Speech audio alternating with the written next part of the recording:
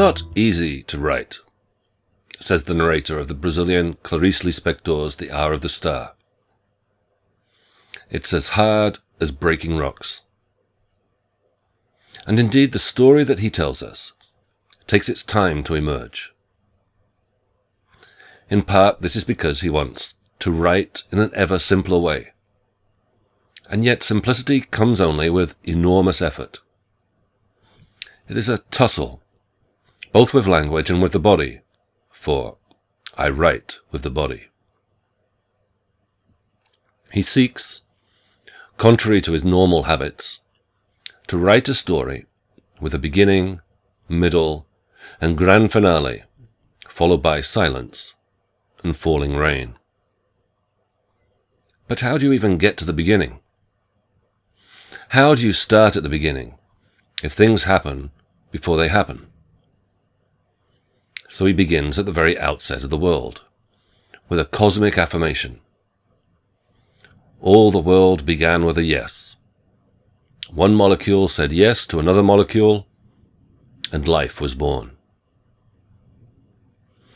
But how then to get from here to the story he wants to tell? Everything has already happened, and yet nothing much has happened at all. What, if anything, will happen next? The narrator provides some clues early on as to what he wants to write about. He will tell the story of a northeastern girl from one of Brazil's poorest states, Alagoas, now living in Rio de Janeiro. One of thousands of such girls scattered through the tenement slums. She's a typist, and so also a writer of a sort. But beyond that, the narrator knows only the tiniest details about her. Oh, I'm so afraid to start. And don't even know the girl's name, he complains. And the problem is not only beginnings, but also endings. I wonder if I should jump ahead and sketch out an ending right away. The narrator muses. Only to confess that it so happens that I myself have no idea how this thing will turn out. At the same time, what I'm about to write is already somehow written in me. He holds a destiny in his hands, should the girl marry or not, for instance. But he does not feel powerful enough to invent freely. I follow a hidden fatal line. Yet emerge the story does, despite the narrator's misgivings. I see I'm almost into the story. The girl is 19 years old. She has a very slight and constant toothache. She works at an office. She has a co-worker, Gloria, and a boss, Mr. Raimundo Silveira. She came to Rio with her aunt, now dead. She lives in a tenement room with four other young women. She listens to the radio and reads old newspapers. She eats very little and never in a restaurant she meets a boy. The first thing she could call a boyfriend in her life. And then, at last, almost halfway through this short novel, she finally has a name. Macabea. By this point, the tale, the story of the story, in all its simplicity, can perhaps be told.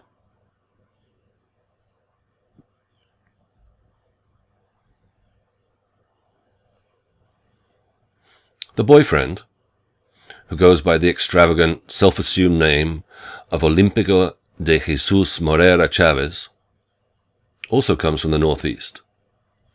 The area around Salvador da Bahia, Fortaleza, and Recife, jutting out into the Atlantic Ocean, which is not only the poorest region of Brazil, but which also has the highest proportion of its population, well over a third, who are of African descent.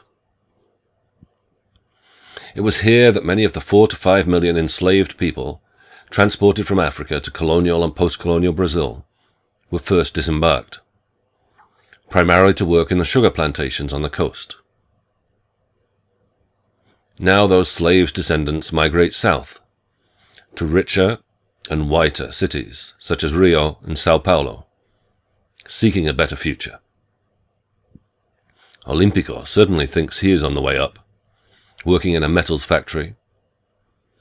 But just as he has augmented his name in line with his aspirations, he didn't call himself a worker, but a metallurgist. He once figuratively, as well as literally, to make a name for himself. One day I'll be very rich, he brashly informs Macabea. I'm very intelligent. I'll end up a congressman. He quickly becomes annoyed with the girl, who by contrast seems not to aspire to anything, and is all too easily pleased, even with the very little that she has. Olympico thinks that her co-worker Gloria might be a better match for him. He immediately realized that she had class.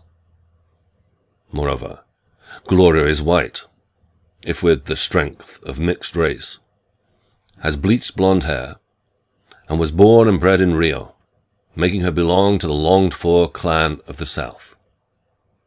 What is more, though ugly, Gloria was well-fed, and that made her quality goods. Olympico promptly dumps Macabea and hooks up with the co-worker.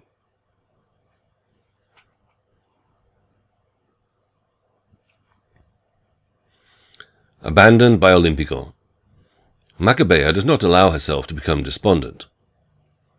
Sadness was also something for rich people, for people who could afford it, for people who didn't have anything better to do. Sadness was a luxury. She is almost without affect, not least because her social circle is now still more reduced, so that it is as though she is not even there, hardly leaving an imprint on the city. For other people, she didn't exist. She wants to be a star. She paints her lips in imitation of Marilyn Monroe. But instead of lipstick, it looked like thick blood had spurted from her lips. She identified with the picture of the young Greta Garbo. But she sees that for her, there was no place in the world. For the first time in her life, she goes to a doctor who sees she's malnourished, and diagnoses her with the early stages of pulmonary tuberculosis.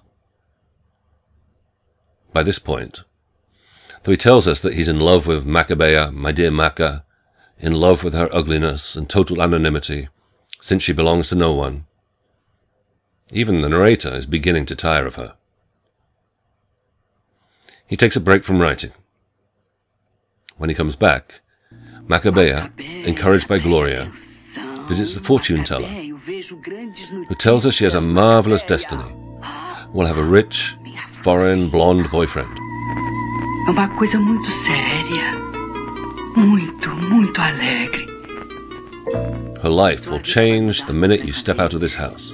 A partir do momento que você sair da minha casa, você vai ser uma outra pessoa. But as she leaves, crossing the street, she's hit by a car. And for all the narrator's efforts, I'm going to do everything I can to keep her from dying. And there she dies, finally free of herself and us. Nothing much has happened in the end. Her bare, almost entirely unqualified life is over and done with. Yet at the hour of death, we are told, a person becomes a shining movie star. It's everyone's moment of glory. Has Macabea had her hour as a star?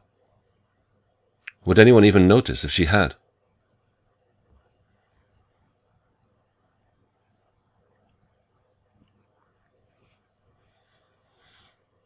Lispector's novel is about doing justice to such a life. A life so marginal and mundane that there is hardly any story to tell, but which may still somehow have its moment of glory. It is therefore about an ethics of writing, about how writing can be true to life, to a life, without necessarily laying claim to the truth of that life.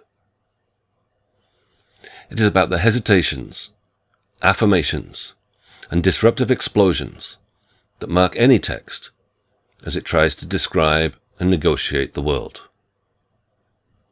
And it is also about how we in that world construct our own narratives or sense of ourselves, our own selves, from the material available to us, from what is at hand, from what we consume more than from what we produce. Yet such consumption can also be our downfall, our self-erasure as much as our self-making.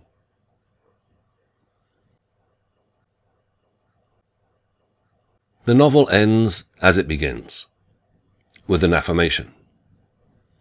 A simple yes is its final word, which may be the narrator's response to his realization that death waits for him, too, or to the rather more banal observation that, for now, it's strawberry season. But alongside and undercutting these affirmations are many questions and anxieties. This is, as we've seen, a narrator who often does not seem all that sure of himself.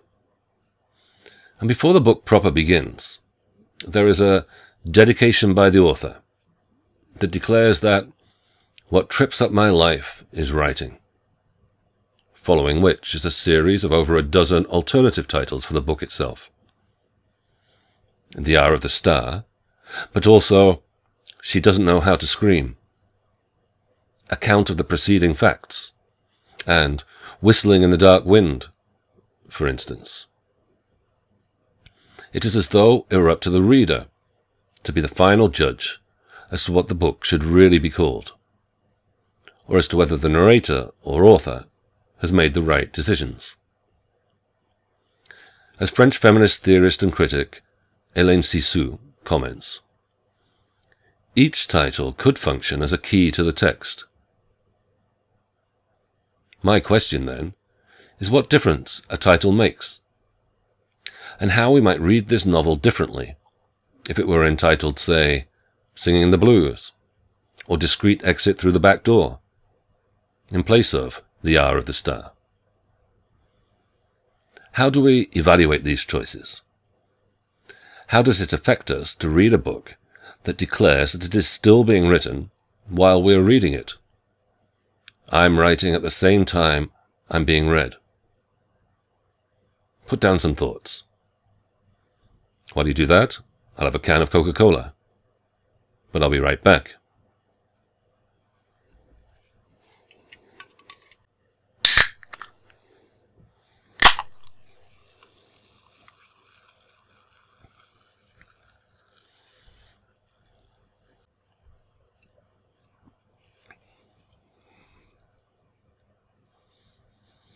Some of the titles come from phrases, the right to scream, as for the future, found in the text itself. Others point to possible interpretations, and even value judgments, a sense of loss, cheap tearjerker.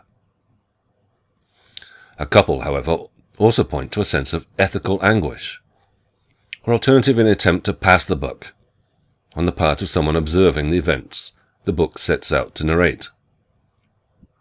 It's all my fault. Let her deal with it. I can't do anything. The book's star, in the title we ultimately have, is here displaced, to stress instead the perspective of the bystander, the person on the side of the road, and of course the narrator himself, who so frequently examines, but also watches his hands of, his own responsibilities and duties toward the character he's conjuring up for us. Throughout the book, after all, the overly voluble, oversharing narrator turns to us to explain and justify himself where he can, and to throw himself on our mercy where he cannot or will not even down to the issue of his heroine's death. He is keen to stress his limits, his powerlessness. Is Macabea by any chance going to die? How should I know? And when something does happen, his response, like Macabea's own resigned view of the world, is that this is just the way things are. It is fate, that is, like the accident itself that mows Machabea down, all part of life's game of chance. So why then talk of blame at all? Who am I, the author asks, to rebuke the guilty? The worst part is that I have to forgive them. We must reach such a nothing that we indifferently love or don't love the criminal who kills us. But if this is, in fact, the lesson of the book, if this book or any other needs to offer a lesson, then it's perhaps only Macabea herself, whoever arrives at this point of bliss, such that she can forgive both the driver who kills her and the narrator who, for all his denials, has her killed.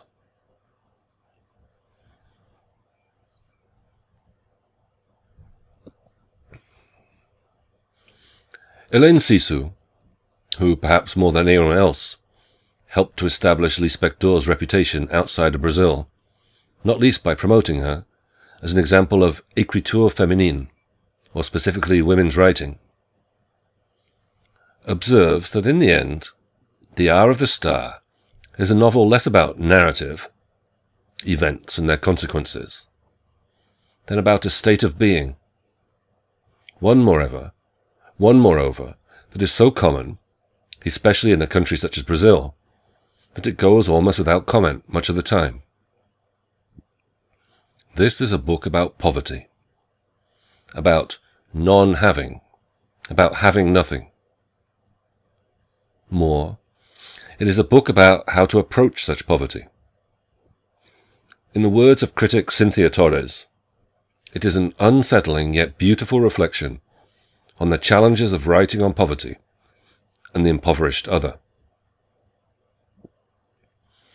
Torres adds that, for Lispector, the challenge, as well as source of frustration, seems to be in composing an accurate and ethical portrayal of a subject and sphere unknown to most individuals, and to which she cannot fully relate. Hence the hesitation and doubt on the part of the narrator. The way in which he struggles with responsibility and blame, and with the assumption he makes about a state, a way of being, that he can never fully comprehend, that slips out of his hands hence also the role of the narrator himself, as both a stand-in for and distancing from Lispector, a way of acknowledging that author and narrator are simply roles that we play, but which we can still learn to play better.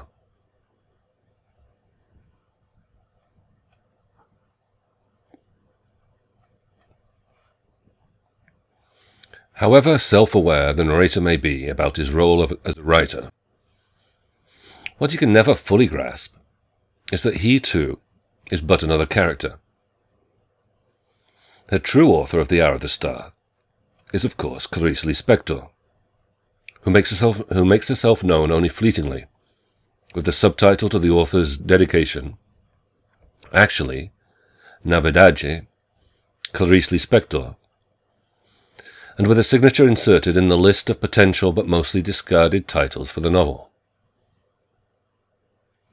Yet even these gestures of showing the author's hand are in turn misleading. For the author of the dedication is not actually Lispector, in that there is no reason why we should believe that this is her own voice, any more than we can believe her stand-in, to whom she's given the name of Rodrigo S.M. And the same goes for her as goes for Rodrigo, when he asked himself, or am I not a writer? Actually, na I'm more of an actor because with only one way to punctuate, I juggle with intonation and force another's breathing to accompany my text. Lispector, too, can do no more than juggle with the limits imposed upon her by grammar and writing which can only ever approximate truth, though they can perhaps be true to themselves, as at best a play with words. And if writing is compared to playing ball, albeit in the first instance, paradoxically, without a ball, from the outset, Lispector tries also to toss the ball to us, her readers, as the novel is described as awaiting our response. It's an unfinished book because it's still waiting for an answer. An answer I hope someone in the world can give me. You? We are also, implicitly, characters in this novel. How will we respond to, relate to, account for a life such as Macabea's? What title will we choose for that endeavour to live with the other, to share their world? And to what extent can we accept that we too are playing out roles first written for us by others? On its hesitant title page, a page still full of the possibilities and potential of what the novel might yet become, Lispector presents us with her signature, as though it were the proof of some legal claim to the text, a trace that confirms both her individuality as well as a contract made with the reader. And yet this signature is but a mass-produced image, identical on every copy of the book sold. Even within the book itself it is doubled, copied, in a photograph of the page mock-up, ready for typesetting by the publisher, that follows the title page itself, as though to present us with some of the otherwise hidden technical machinery and human labour required for any book to come to the market. As Maria Librandi Rocha observes, it is in this way that Lispector begins a fictional play within her fiction which gives her book a theatrical touch of performativity, in that it exposes the framework of creation and its correlative process. The author, too, is part of a larger and more complex machine that sustains and enables representation. Language and the market together work to erase individuality and yet they are also the tools with which we endlessly try to distinguish ourselves, to make ourselves heard. Macabea, in turn, is a creature and victim of these same forces, neither more nor less so than Rodrigo S.M. or Clarice Lispector, though her existence is rather more precarious than that of either the narrator or the author, except that Actually, na verdade, Lispector will be dead by the time this book was published. One sign of this precariousness is the length of time it takes the narrator to come up with a name for her. And even then it is only a first name, and a strange name at that.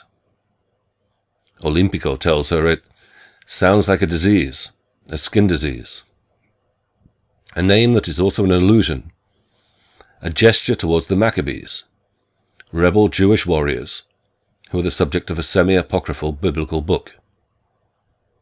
But what, if anything, is it that our reluctant heroine is rebelling against or resisting?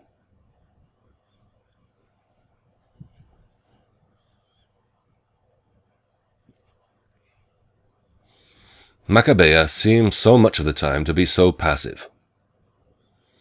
She is described as obediently playing the role of being. But she does have her tastes and preferences, her pleasures. Even for someone who consumes so little, she is a creature of the market. Almost literally so, in that her diet apparently consists entirely of hot dogs and Coca-Cola she listens to the radio, where she picks up snippets of information about something called culture.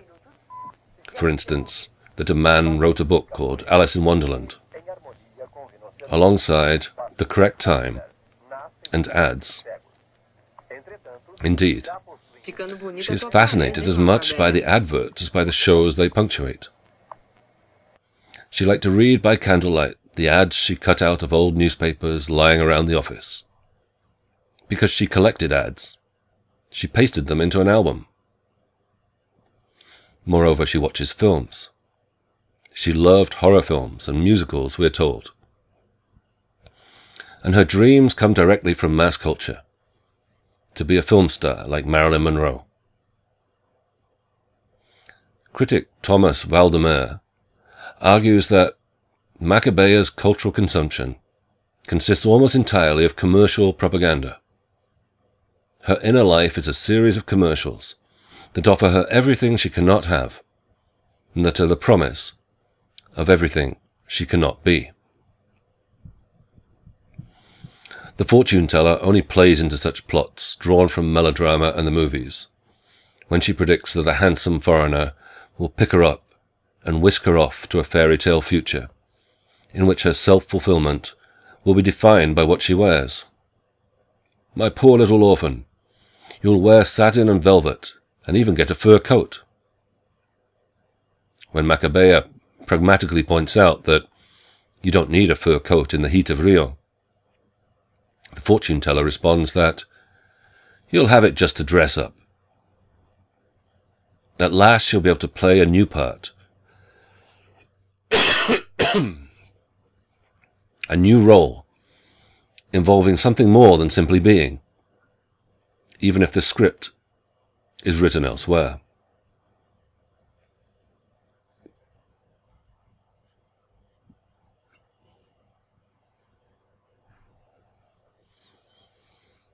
Consumption is also a disease, the tuberculosis that the doctor diagnoses.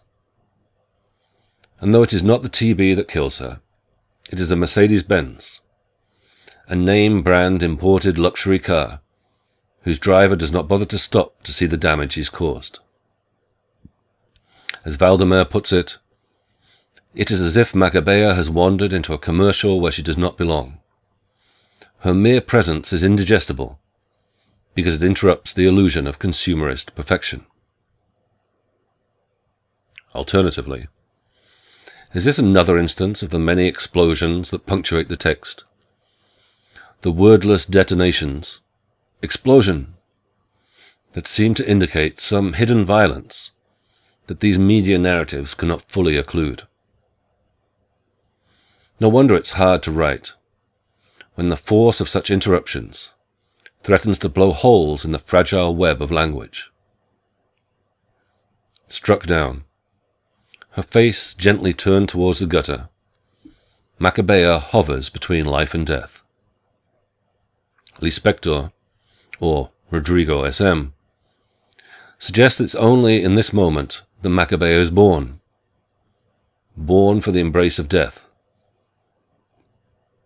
and that it is only lying there that she realizes her destiny to be a woman. But this is a strange kind of becoming, neither subject nor object. For in truth, in most of her short life, she's never been either. The last words we hear her say, clearly and distinctly, is the phrase, as for the future a phrase that is also one of the book's potential titles. This is a future that seems closed off to her, as much as it had ever been, except that she's been immortalized, however reluctantly, by the author and narrator, whose frame of reference she forever escapes, finally free of herself and us.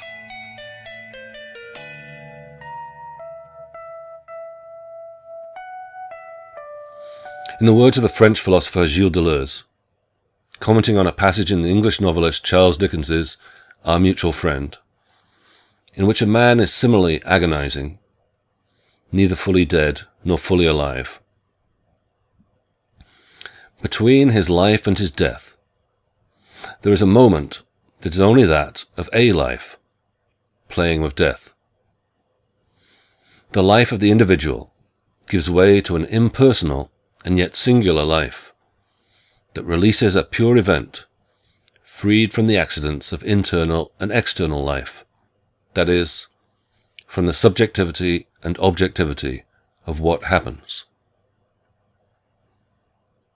Soon enough, however, okay, it's over, the narrator of The Hour of the Star tells us. His thoughts turn to the strawberries, no doubt on offer in the local market. Consumption and narrative, subjectivity, things happening one after another, goes on as ever. But it has been briefly interrupted for those with eyes to see or ears to hear.